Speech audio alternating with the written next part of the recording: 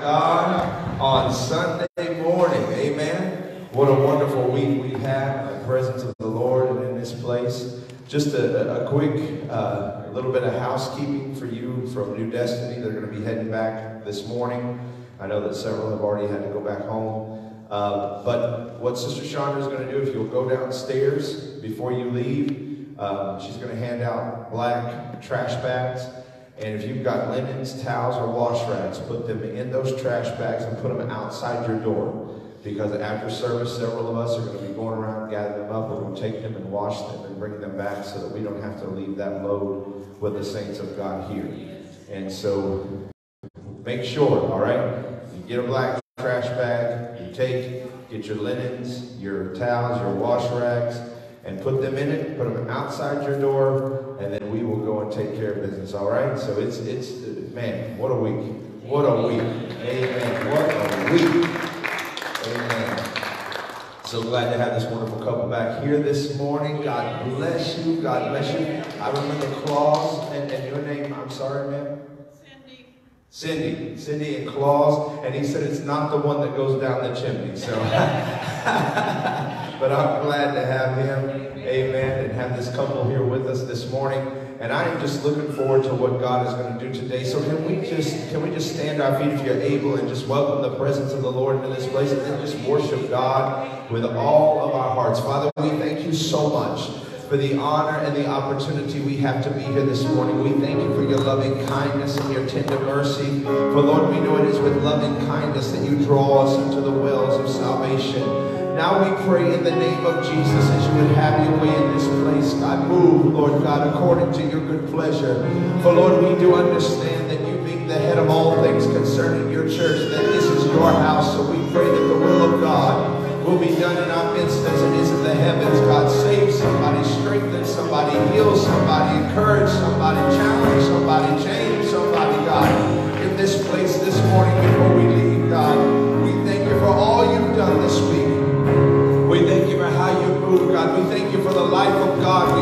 this place. Now we pray, God, that you would allow, Lord, this to just be the cherry on top of the dessert, God. Let this last service, God, of this weekend, God, let it be something special for us to remember, God. Oh, we thank you. We pray for all those that are on the road, God, right now, traveling back to Tennessee, that you would keep them, watch over them, go before them, God. We pray for those who will be leaving today, God, that you'll go with them, God, that you'll grant them God's speed, Lord. Let angels have charge over Lord, bless us here this morning as we bless your wonderful name.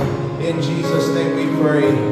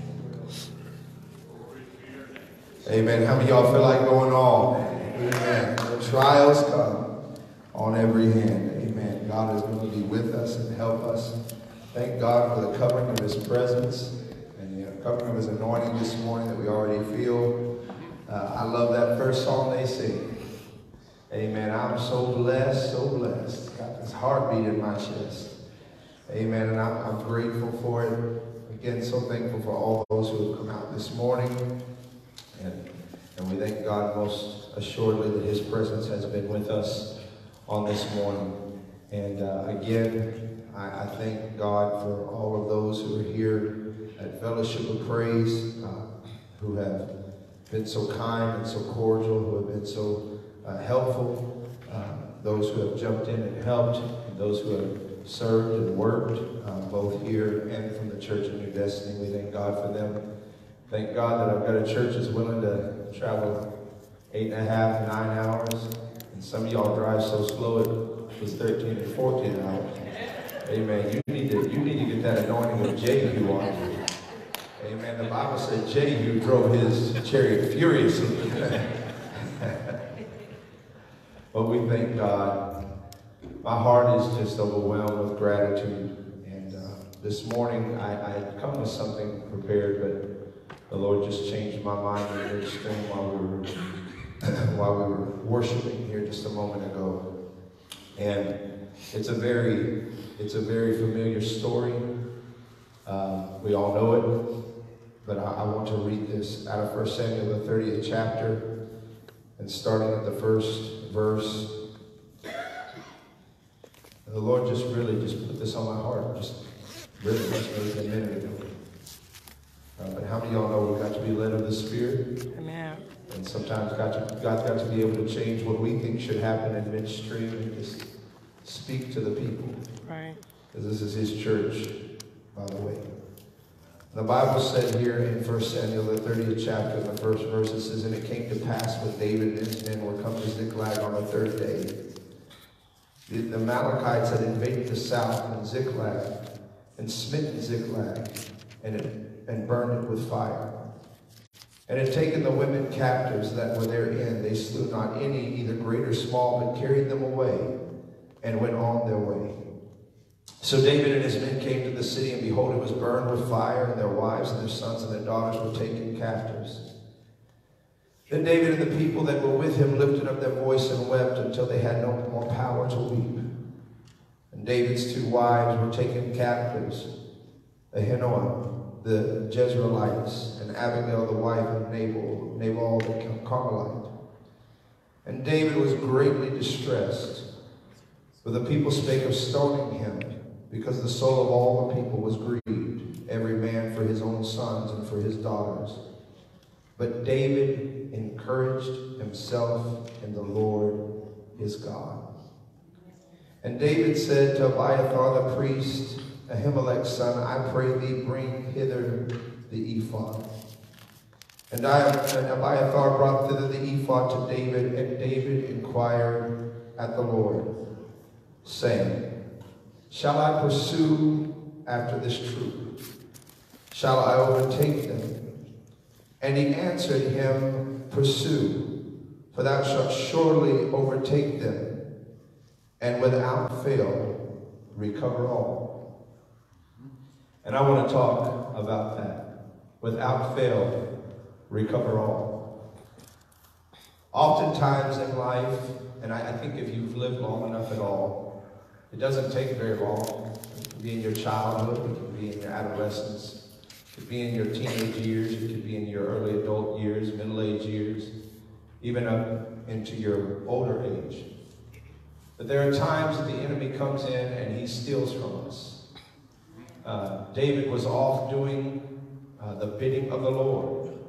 And while he was doing the bidding of the Lord, the enemy came in. And I want to deal with these Amalekites first. Because if Saul had obeyed the Lord in the first place, David would never have had to deal with the Amalekites. The Amalekites were a thorn in the side of Israel. They were a pest. They were a nuisance. They were persecutors and oppressors of Israel. God told Saul, he said, you go in and you take all of them out. Don't you leave nothing left living. But Saul thought he had a better plan than God had. And so he left the choicest of things alive, as if somehow that was a sacrifice and an offering unto the Lord. And God sent Samuel to deal with Saul. And Samuel said, Saul, I thought the Lord told you to destroy all of them, every living creature of the Amalekites, their animals, their children, all of them. And Saul said, Oh, I did. He said, Then what is this bleating of the sheep that I hear in my ears? He said, Was it not better for you to obey than to sacrifice? Right. And to hearken than the fat of rams? Wasn't it better for you to just do what you were told than to think that somehow, even in disobedience, you giving me some wonderful offering, I would receive it anyhow? And because Saul disobeyed the Lord and did not, did not destroy the Amalekites, who came into Ziklag and took David's family? Who came into Ziklag and took his children? Who came into Ziklag and took the wives and the children of his men and the spoils that were there? It was the very people that Saul should have destroyed.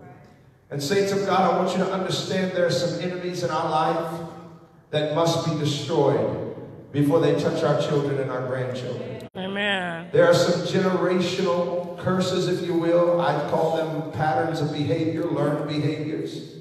There are some generational curses that we hold on to in our lives that we refuse to try to fight and defeat. But I promise you, whatever you will not defeat in your lifetime, your children will live to fight. And we have to decide whether we're going to let our children fight our demons or let them go on and fight their own. God wants us to deal with some things in our lives. There are some issues and struggles and circumstances that should not be passed down generationally. If you want to pass anything down generationally, let it be a generational blessing. If you remember, David was a man after God's own heart, and the Lord declared. Right. And God told them in the law, He said, Do not go take wives of the heathens. For when you do it, they will turn your heart from serving the living God. And when Solomon took the throne from David, one of the first things that he did was he went down to Egypt. He signed a peace treaty with Pharaoh and he married Pharaoh's daughter. He immediately walked into disobedience against the Lord. And now, years later, and a thousand wives and concubines, he's up in the high places building altars to the gods of his heathen wives. And the Lord came to Solomon and he said, That's it, I'm cutting you out. I'm cutting your seed forever off the throne of Israel. But I'm so thankful that David's grandson had a grandfather whose heart was after God. Amen. Because even though Solomon rebelled against the Lord, and we have no real record of Solomon ever repenting or turning back to the Lord. But God told Solomon, He said, I will not take all of the throne from you, but I will give the throne of Judah unto your son. Why? Because your father David's heart was perfect toward me. And I'm going to tell you, children of God, we have a tremendous responsibility to begin to pass down generational blessings unto our children and our grandchildren. In fact, the Bible said that a wise man will pass down blessings even to the third and the fourth generation of his seed. Right. It is time for us to bring ourselves to the place of courage and confidence in God where we say this issue stops at my doorstep. It will not follow my children to theirs. Amen. This problem stops at my doorstep and it will not follow my grandchildren to theirs. Amen. I'm bringing an end to it right now. Whether it be generational addiction, generational bitterness, generational poverty, generational divorce, generational immorality, it comes to an end at my doorstep because I refuse to have my children fight something that I was too cowardly to face for myself. It is time for us to begin to pass the blessing unto our children. And I want you to understand finances are not necessarily a blessing. If you pass millions of dollars to your children, but your drinking problem, Right. They will take your millions of dollars and they will drink it up. Right. If you take, if you pass down a generational addiction to your children, it doesn't matter how much money follows it. They will take the inheritance and they will use it to curse themselves. So don't always think that money is blessing. Blessing is passing on to them the name of the Lord. Blessing is passing on to them a faithful father, a faithful grandfather. Blessing is passing on to them a faithful mother and a faithful grandmother. My God, let us start passing down the knowledge of the Lord unto our children. Stop passing down the knowledge of your issues and the knowledge of your abuse and the knowledge of your bitterness. Let us begin to open up our hearts and open up our mouths and gather our children and grandchildren around us and put this word of God deeply into their heart. Write it upon their foreheads. Write it upon their hearts. And it doesn't matter whether they're poor or rich. It doesn't matter whether they're successful or they're cleaning a bathroom somewhere. They will find that you gave them a blessing Amen. because of David's heart, which was perfect unto the. His grandson did not fail to sit on the throne of Judah because David passed down a generational blessing. Amen. Oh God. Somebody just ask the Lord, help me to pass generational blessings. Help me. Help me to pass generational blessings. Oh, hallelujah. Help me, Jesus, so that my children know you, so that my grandchildren will serve you. Help me to, that- that's the reason why I'm telling you, saints, we're going to have to move on from church hurt. We're going to have to deal with that demon right now. We're going to have to deal with the devil of church hurts and church wounds right now because sour grapes set the children's teeth on edge. We cannot hope our children, hope for our children to serve the God that we love if all we do is talk about how awful things are in his house. At some point, we're going to have to clean up the house and then get our hearts clean. My God, lay the axe to the root of bitterness in our spirit and then once again rebuild a house of God that our children can find salvation in, that our grandchildren can find salvation in. God. Amen. So David is here. And he's having to deal with a generational curse. He's having to deal with an enemy that if Saul would have defeated him, he would have never had to fight it. So I'm telling you, I, I, I know you say, Pastor, you're being redundant here. I am being redundant here. Because redundancy is a wonderful teacher. Mm-hmm. If Saul had defeated the Amalekites in the measure that God had required him to, David would have never had to fight this battle. Mm-hmm. And it is the same way in our lives.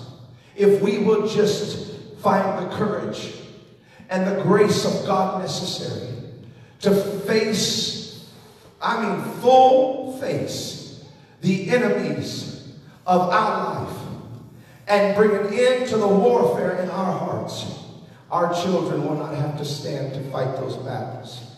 We will have defeated the enemy for them. How many of y'all want to defeat the enemy for your children? Amen. Your grands, I want to, I want to defeat the enemy. Amen. Amen. And I'm not talking about the enemy outside of me. I'm talking about the enemy in me. Right. God, help me to help me to defeat this guy. Right. Because I don't want my grandchildren being raised up around a bitter grandfather. I've got, I've got, I've got, I've got uh, uh, two grandsons right now, and I've got a granddaughter, and I've got one more granddaughter on the way. I don't want, I want them to be around someone who has love in their heart Yes. and joy in their spirit, to where when they get around Poppy, they, they, they feel the love of God and they feel the joy of the Lord. I don't want them to get around a bitter heart and a bitter spirit. I don't want them to get around a paranoid person. I want them to get around somebody who has full faith in God and full confidence in the name of the Lord. Hallelujah. And full assurance in the word of God that everything God said he would do, he will do. I want to pass to them a generational blessing. I want to build a church and churches that they will be able to find salvation in, that they will be able to find safety in, that they will be able to find redemption in, that they will be able to find deliverance in. Amen. I want them to, I want to, I want to see, I want God to help me to produce people that will worship and praise God so that there will be houses that my children and my grandchildren can find God's presence in. Amen. It's my heart, saints. It's my heart. I want to leave them something that they can survive on. I want to leave them something that will cause them to love God and call upon the name of the Lord. So, Lord, help us to defeat the enemy in me. If I'm holding on to past bitternesses, I've been around people like that. You ever been around somebody that the moment you walk into their presence, you get angry? The hostility, the spirit is so bad that you walk into their presence and all of a sudden you're on the defense and you don't even know them. You're protecting yourself and you have no clue who they are. Because the anger and the bitterness and the hostility is so radiating from them that the spirit inside of you says, protect yourself. I don't want I don't want my children to be around a man like that. I don't want my grandchildren to be around a man like that. I want the love of God to radiate from me so profoundly that my grandchildren love to be around Poppy. Hallelujah. Hallelujah. That if I live to see great grandchildren, that they will love to be around their Poppy because they feel the presence and the joy and the love of God. Let that be in us, saints of God. So if there be in any of us a, bit, a bitter root, let's lay the axe to the root right now. Let's lay the axe to the root right now and say, Lord, I know that things in my past have been hard and difficult, and I know that I have had to face many crises and many circumstances, but I am alive. Amen. Sometimes you need to remind yourself you survived. Amen. Sometimes we get so caught up in the war, we forget we survived. Right.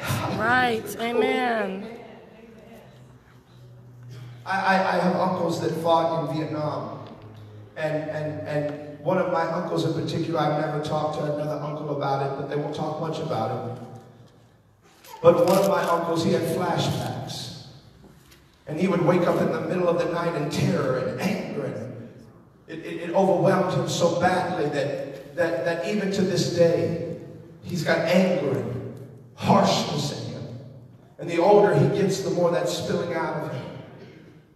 But I, I just pray for him that maybe one day he'll realize he survived. I pray that one day he'll realize that he lived, that God gave him grace to make it through. And now he himself has children and grandchildren and great grandchildren. Sometimes, saints of God, you just got to be grateful you survived.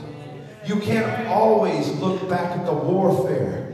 You see, you, uh, you must understand, you could, you could be now out of the actual conflict, but still be in the war. Right. The fight could have ended, but you're still in the battle. Sometimes you just got to get on the other side of it and say, Lord, thank you I lived. Thank you I survived. Thank you I came through, Lord. Because what I cannot afford to do is let that bitter root get down on the inside of me because the Bible said, Beware lest in any man there spring up in him a root of bitterness, and thereby many, many be defiled. Because when you have a bitter root in your spirit, when you have a bitter heart in your in, in, in your life, everybody around you has got to deal with that poison. So let's defeat the enemy in me so that my grandchildren will find Jesus in me. Because it is Christ in me that is the hope of glory. And I am a living epistle written, uh, of God and read of man. When my grandchildren and my children and anyone that God will allow to cross my path comes into my way, I want to be somebody that radiates the love of God. I want to be somebody that the name of Jesus is apparently upon. So David is fighting this battle that Saul refused to fight. He comes back and all, everything's gone. Everything's gone. David's dealing with one situation. And while he's dealing with that, the enemy sneaks in and takes everything away from him. Sometimes that can happen in your life. You ever have the enemy just sneak in and take everything? You aren't ready for it. You weren't planning on it. You had no warning it was coming. And the enemy just creep in. Everything that you had acquired, everything that you had built, everything that you had loved, the enemy just sneaks in and snatches it away from you in a moment. And you're standing there bewildered, be- be- be- bewildered and dismayed, disillusioned. How could this have happened? How could the enemy have come in? I, I, Lord, I, I was just out taking care of business. I've seen many pastors lose their families. over ministry. Because while they were out doing the will of God, they weren't being watchful. They weren't being mindful that there might be enemies that have their eyes set upon their family. And while they were out doing the will of God, when they came back, they had lost everything.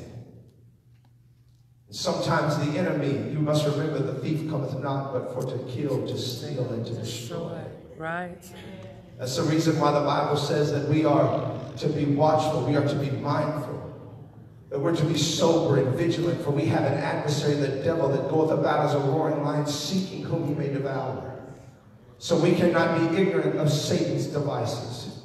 We have got to be aware that the enemy is constantly looking for a way into our lives.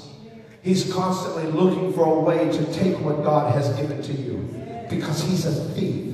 He's a liar. And there's sometimes you need to quit believing the liar. And you need to know that if God is for you, the devil cannot successfully stand against you. But we also have to be mindful and watchful. We cannot just be sloppy and reckless. We've got to be mindful and watchful, not paranoid and fearful, but just be sober and be vigilant Right. because the devil is going to look for any way he can. What has happened in this church this weekend, the devil's going to look for every way to take it from you. Somebody, I'm telling you, there are people that are assignments of the enemy. They're assignments of the enemy. And where you got joy in your heart right now and hope is beginning to spring back up in you, somebody is going to come to you after, after I'm gone. Somebody's going to come to you and start running their mouth and start tearing down what God is trying to do in this place.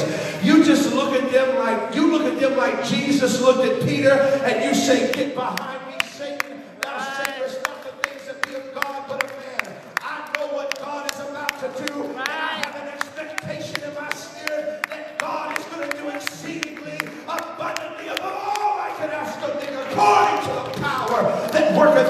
So hang the phone up, walk away. Don't even pay attention to their words because they're cursing you, but they can't curse what God has blessed. You can't stop what God gets started. There's nobody that is greater than the Lord. Amen. So be vigilant. Folks know this has gone on this week. I'm hearing from people I didn't even know existed. Folks know this is going on this weekend. And the first thing they're going to do is start hitting the phone line. And they're going to touch their communication channels wherever they have them. And they're going to start siphoning information. And when that comes to a place of trying to tear down, you just rebuke it in the name of Jesus and you go on. Because I'm telling you, God is not done with this church. In fact, we are now at a new beginning. God has restarted something at the fellowship of praise that I think is going to resound generations from now should the Lord tarry his coming. And we just need to hold on. There's a lot of work ahead, saints. You got, you got a lot ahead of you. There's a lot to deal with. There's a lot to walk through. And I don't, don't lose hope when we leave here and you don't see everything like it was when we were here. Just keep on working. Keep Yes. on plowing. Amen. God has got something for this place. Amen. You just need to hold on. And if God's bringing you in here, come in here and help. It might be awkward at the onset, but despise not the time of small things because little is much when God is in it. Amen. Amen. Amen. And so, so David comes back and everything's gone. And he had to have a different mindset than the doubters. He had to. Because when all of them came, up, they were all grieved. David went just like they went. They were all grieved. Every one of them were. But see, when you have a relationship with the Lord, that weeping only lasts for a moment. That, that, that, that weeping only lasts for a moment. Uh, leaders can't weep forever. If David would have fallen into the same grief that the others fell into, they would have all just laid down and died. But when, when, when, when you're a leader, you can't grieve like everybody else grieves. You weep for a moment and then you start looking for the way. You weep for a moment and then you start looking to the Lord and saying, All right, Lord, now what do we do? Yes, this was hard, but what do we do now? And I'm not talking about just in the church, I'm talking about in your family. If you are a man of God in your family, which means you are the priest of your home, if that is you, you're the head of the house, you're the leader, that doesn't make you anything. Amen. I, I, I, heard a story one time, a man was going around and every day, multiple times a day, he would tell his wife, I am the man of this house, and I wear the pants in this family, and don't you ever forget about it over and over again, day by day, over and over again, day by day. She had to hear this from him. Finally, she had had all she could take. And she took a baseball bat knocked him right out. Drug him to the bed, took his pants off, put him on the bedpost, and laid him in the bed. When he woke up bewildered, bewildered, realizing what had just happened to him, he looked at her and he saw the pants on the bedpost and he said, Dear, would you hand me our pants? now, sisters, don't you be getting no baseball bats. I'm not giving you permission. I say that to say that God didn't give me to be the head of my house, to be a tyrannical leader. I'm actually to be a protector and a provider. Amen. That's really what headship is. It's, it's not a position, it's a responsibility. I wish more pastors would get that revelation. Headship is not a position, it's a responsibility. Pastor is not a position, it's a responsibility. Bishop is not a position, it's a responsibility. When it becomes a title, then it is egotistical. But when it becomes a responsibility and, hum, and humility, we serve one another. I have preachers that tell me all the time, why are you so intermingling with the people? Aren't you afraid that that will bring familiarity? I said, shepherds smell like sheep. Amen. If you don't want to be amongst the people, you're not a shepherd. Right. So go do something else. Flip hamburgers. McDonald's. I just saw a sign. McDonald's says $14 an hour. Hiring immediately. Day, night shifts. If, if, if you don't want to be amongst the people, if you don't want to smell like sheep, then you have no call to be a shepherd. Glory to God.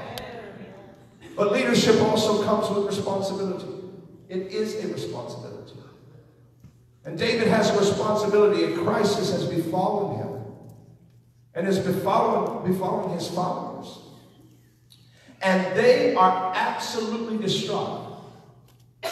They have lost everything, and they have no hope for it to return. But David goes off to himself, and the Bible said he encourages himself in the Lord. And when he goes to the Lord, he asks him some specific questions. Shall I pursue? Should we go after them? And the Lord said, Yes, go after them. He says, Lord, shall I overtake them? Because David said, Lord, I don't want to go after them if we can't defeat them. And the Lord said, You will overtake them. He said, And without fail, you will recover. I believe that we are coming into a season as God's people where we, where we will recover all. Glory. We will recover all. Amen. It doesn't Amen. matter what the enemy has stolen, we will recover all. Amen. If the enemy has taken out our spouses, we will recover all. If he has taken our children, we will recover all. What he has robbed from our churches, we will recover all. But we can't sit down and grieve forever. Right. Remember that weeping endures for the night, but joy cometh in the morning. And I believe that God brought this boy from East Tennessee to St. Louis, Missouri to tell fellowship of praise. It is morning. It is time for you to stop weeping.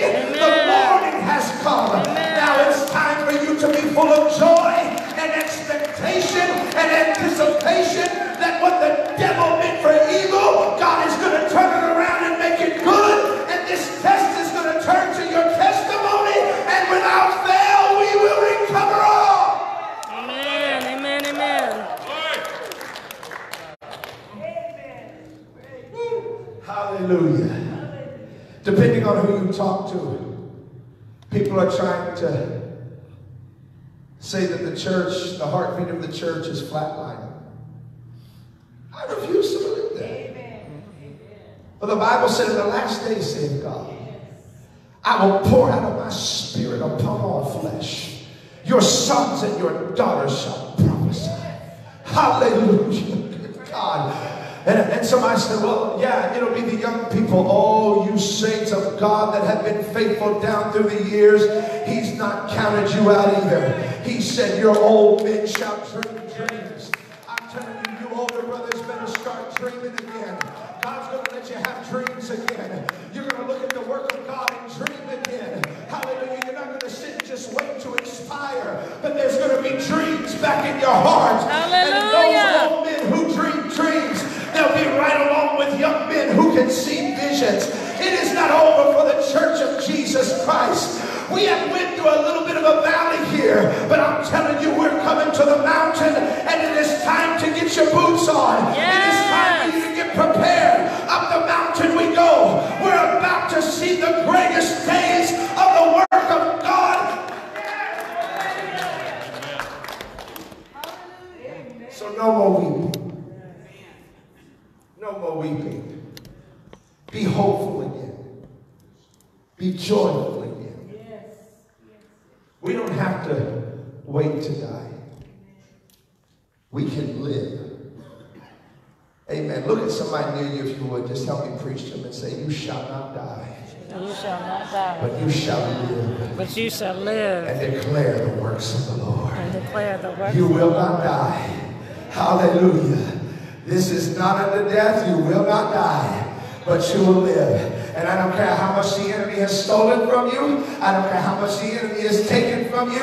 God brought me here this morning. I'm telling you, I had a whole other message prepared. But the Lord dealt with me right before I stood up and said, Tell them without fail, they shall recover all. I don't know what you've lost in your life. I don't know what the enemy has stolen from you, but without fail, you will recover all. Hallelujah. You're going to get your joy back. You're going to get your hope back. You're going to get your children back in the house of God. Your grandchildren will call upon the name of the Lord. God told me to tell you without fail, St. Louis, it's time to recover it all. Get on your Hallelujah. knees for the Lord and begin to thank Him for saving your children. Thank Him for saving your grandchildren. Yes. Thank Him for absolutely bringing light back into this sanctuary because the greatest days of this place are yet ahead of us. And it is time for us to stop looking to the past and weeping over what could have been. And it is time for us to start reaching to the future of what will be. Paul said, This one thing I do, forgetting those things which are behind. I reach toward those things which are before. I'm pressing toward the mark of the prize of the high calling in Christ Jesus. The days of looking backward are over. Encourage yourself in the Lord. You have been brought into the kingdom for such a time as this, and without fail, Yes. you will recover all. Amen. Amen. Amen. I listen to churches and I hear them giving up. So many churches I go into. Well, this generation will never. This generation will never. Well, the best days are behind us. Just glad I could be a part of it. Now we'll just sit here and wait until Jesus comes. That's not what the Lord told them. He said, You occupy till I come. Right. Right. We wait till Jesus comes. No, no, no, no, no, no, no. That's not what that word occupy means in the Greek. It is the same thing as us going into Iraq and throwing down an evil regime and occupying and taking that country. How do you feel about that? I have my feelings, but we won't go into the political dissertation of it today. But the point being is, occupy does not mean that we just sit and wait. It means we take territory till he comes. Mm-hmm. We take territory till he comes. And again, I know that many of you saints in here may feel like you're past your prime, that you're older in years now, you don't have the strength to do it. But if God can take the dead body of a hundred year old man by the name of Abraham and wake him up, Amen. if God can take the womb, the dead womb of a 90 year old woman by the name of Sarah and wake up the womb until not only did she produce Isaac, hallelujah, but she produced. Uh, but she produced many children afterward because God woke up the womb. I'm telling you, I don't care how old you are, don't you let the devil tell you that your productive days are over. God can wake you up. God can wake up your body. The Bible says that the Spirit of God will quicken your body. In other words, bring it life again to serve the living God. Hope again, children of God. We're about to see something great here. We're about to see something great in Kingsport. And I'm just thankful that God has given me the opportunity to be a part of it. But I'm telling you now, we're going to recover it all. We're going to recover it all. Hallelujah. Like I told you the other night, there was at one point that they took Saul of Tarsus, which we call Paul, and they took him out and they stoned him outside of the city and they left him for dead. It would have been wise just to stay there long enough until his pulse had expired. But they left him because they thought that he, they had done the job well enough that there's no way he could get up from this. And I'm telling you, the enemy has done the same to many of God's people and to many of God's churches. He has beaten and battered and bloodied them. And he left and said, You know what? I've done the job now. There's no way for them to recover from this. But the devil should have stayed around long enough to check your pulse because there's more hope for a live dog than a dead lion. He should have waited till you died before he left you alone. Because now we're going to recover Right. and we're going to recover it all. We're going to get back up again and we're going to get about the Father's business and God is going to be glorified Amen. in all that we do. Praise God. Glory. Praise God. Shall we pursue? Shall we overtake? Yes. And without fail we shall.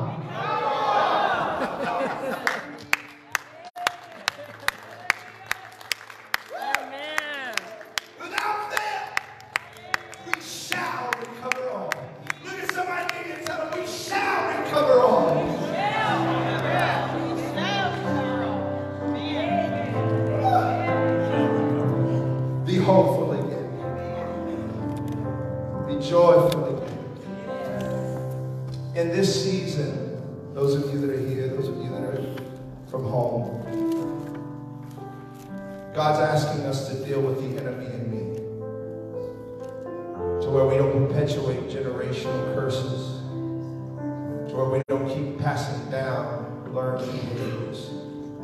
That we put it into an end right here. To where when our children see us, they call us blessed. Yes. They call us blessed because we loved God. And we didn't just serve Him because it was an obligation, we served Him because it was an honor. Because He is indeed the very lover of our soul. He is our lily in the valley, He's the bride of the morning star. He's our shield and our buckler. He is the glory and the lifter of our. Oh, what a wonderful Savior. What a wonderful Savior. He loves us. He loves us. He loves us. He's called us. He's anointed us. He's kept us. He's protected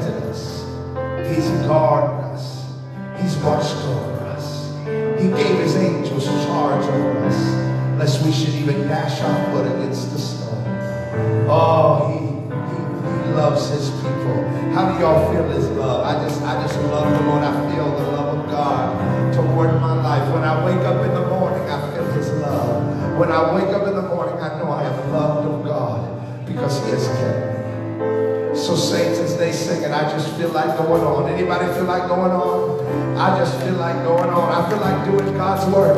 I feel like recovering everything. I feel like recovering it all. I feel like going after it, recovering it all.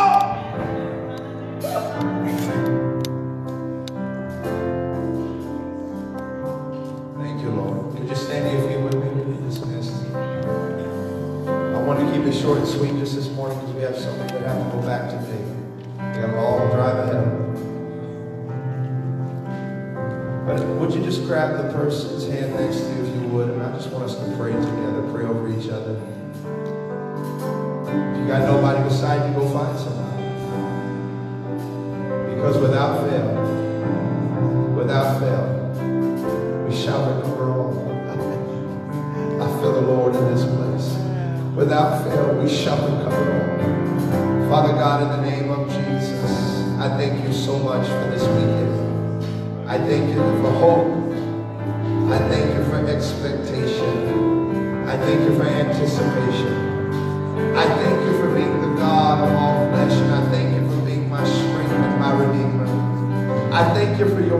is so quick and powerful, God.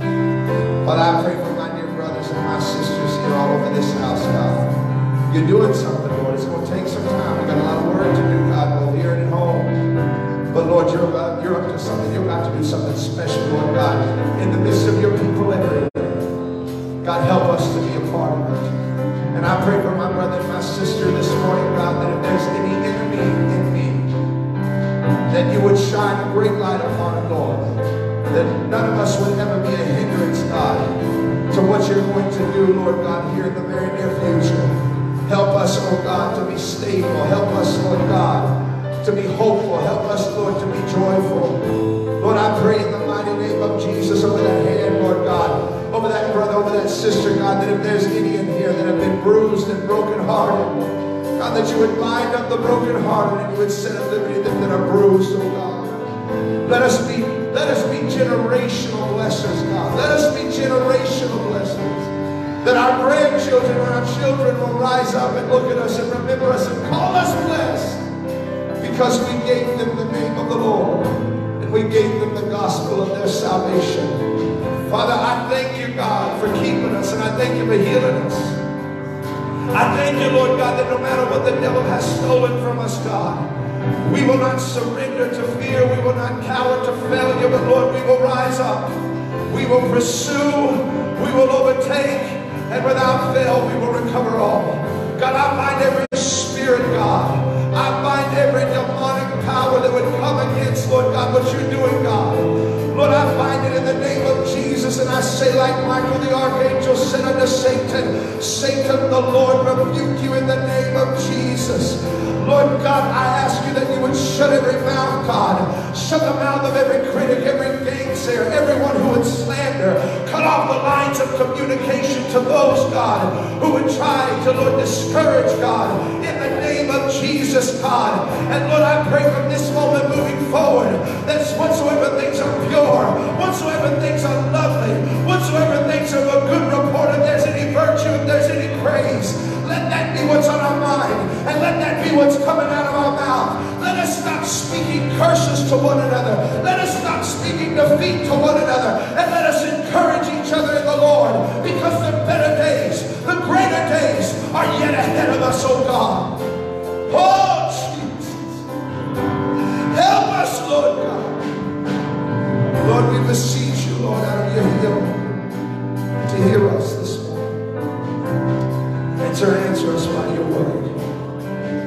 Vale, nem